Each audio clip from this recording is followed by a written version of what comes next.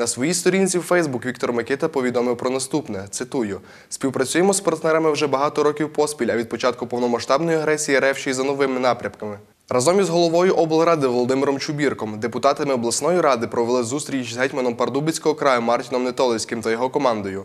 Розповів чеським колегам про поїздку на Херсонщину. Регіон потребує відновлення. Тут гуманітарна криза, відсутня електроенергія та водопостачання тощо.